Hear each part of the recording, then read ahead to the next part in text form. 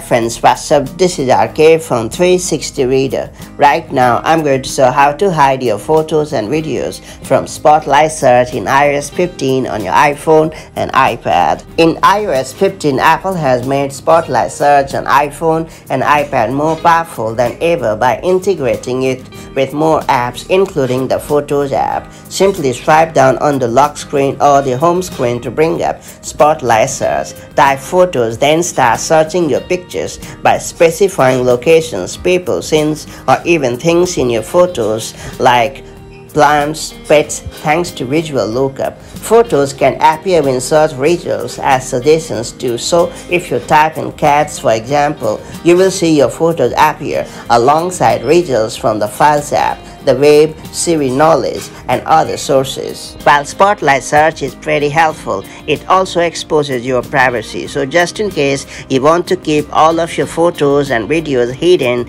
then this tip is for you. That's all being said, let's learn how to hide photos and videos from Spotlight Search in iOS 15 and iPad OS 15 or later. Before getting started, make sure you have subscribed our YouTube channel and hit the bell icon so that you won't miss any update from 360 Reader. To get going, launch Settings app on your iPhone and iPad. After that, scroll down and then choose Siri and search. Then scroll down and then select Photos app.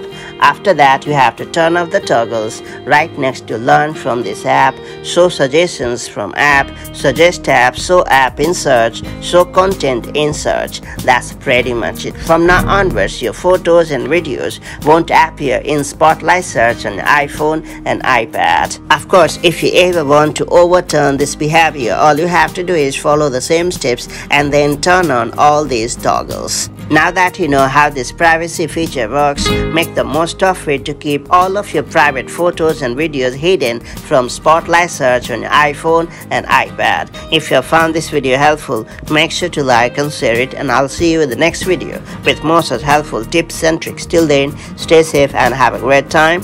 Bye bye.